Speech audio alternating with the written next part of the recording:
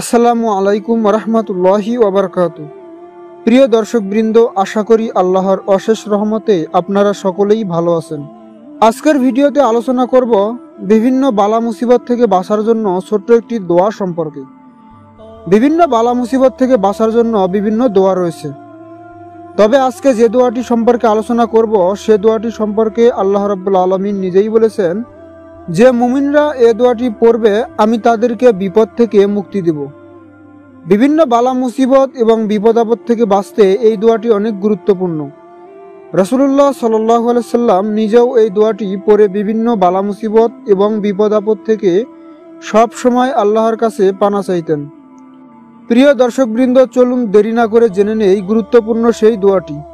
দোয়াটি হলো, লা ইলাহা ইল্লা আন্তা সুবহানাকা ইন্নি কুন্তু মিনাজ জালিমিন।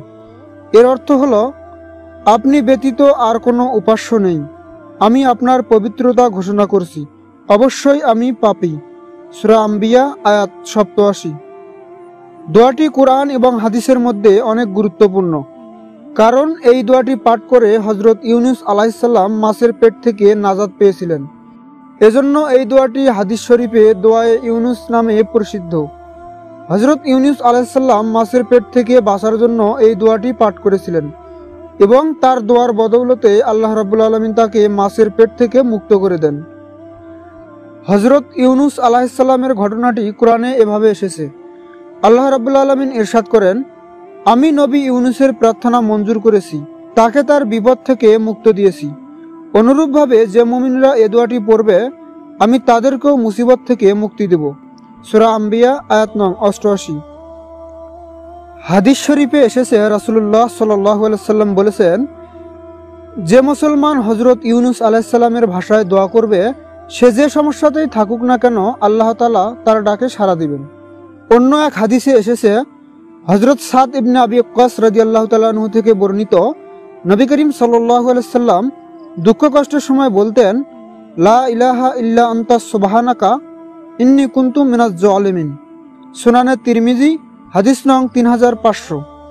প্রিয় দর্শকবৃন্দ, বিভিন্ন বালা মুসিবত এবং বিপদ আপদ থেকে বাঁচতে এই দোয়াটি অত্যন্ত গুরুত্বপূর্ণ। এই দোয়াটি হলো কোরআনের দোয়া। এই দোয়া যে যত বেশি পড়বে, আল্লাহ তালা তার বিপদ তত সহজ করে দিবেন। যদি আমরা এ জাতীয় ছোট ছোট দোয়া বেশি বেশি পাঠ করি এবং নিজেদের অভ্যাসে পরিণত করি তাহলে আশা করা যায় মহান আল্লাহ তালা আমাদের সব বিপদ আপদ থেকে রক্ষা করবেন।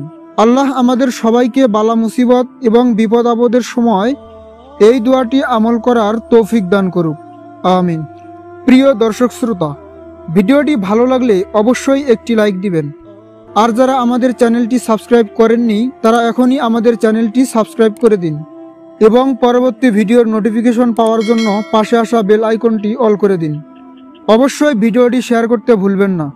মনে রাখবেন, ইসলাম অ্যানালাইসিস চ্যানেলের একটি ভিডিও শেয়ার করার মানে হল, আপনিও ইসলাম প্রচারে সহযোগিতা করলেন।